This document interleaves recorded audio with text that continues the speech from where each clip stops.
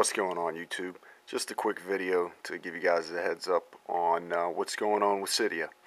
Uh, as some of you may or may not know, Cydia has just acquired Rock.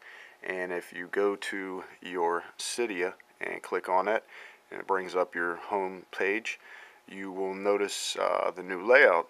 I think it's a pretty nice new layout. Uh, you know, you can follow Cydia on Facebook and uh, saurik on Twitter and then you'll get the message uh, Cydia plus equals rock your phone and go ahead and click on that and it will give you the update uh, as far as the merger went. Now I really haven't used rock.